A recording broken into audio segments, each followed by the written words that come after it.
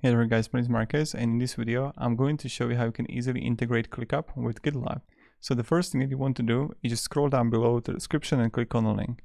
When you're going to do it, you'll get right here in Make.com and Make.com is an amazing tool that's going to help you integrate and combine various applications and one of them is ClickUp with GitLab. So what you want to do is just when you're going to sign up with Google, Facebook, GitHub completely for free, you're going to end up under team, you're going to find scenarios and you want to click plus here and in the search you want to write click up. So right here and then you can choose what's going to happen. Get a task create a task trigger when a task or subtask is created or updated and then you would have gitlab. So let's go like this. You're going to choose uh, what you want to watch.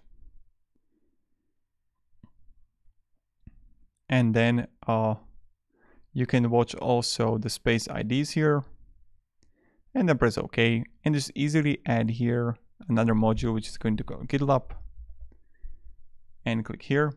And then search projects list owner get an issue create an issue. So let's say when you're going to have something in ClickUp you're going to create an issue in GitLab. But it can be vice versa. So in the moment you can have as a trigger in GitLab. So when an issue is going to get created you have directly in ClickUp your uh, your task. So I'm going to be here and get an issue.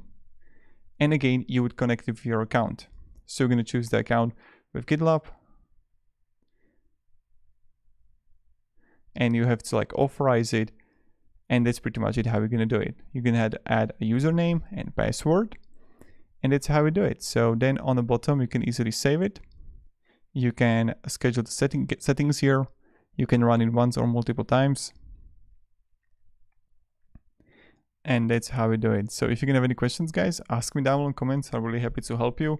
Also if you're gonna need like help with your scenario you can contact make.com and make.com got perfect customer service going to help you integrate various applications. So uh, that's what you can do too. And that's pretty much it. So thank you and have a great day and goodbye. See ya also in the templates, you can find plenty of, when you're going to save it on the bottom, you can run it once. You're going to find in templates various uh, integrations or GitApp or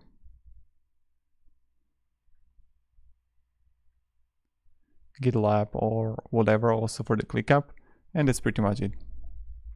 So thank you very much and have a great day and goodbye. See ya.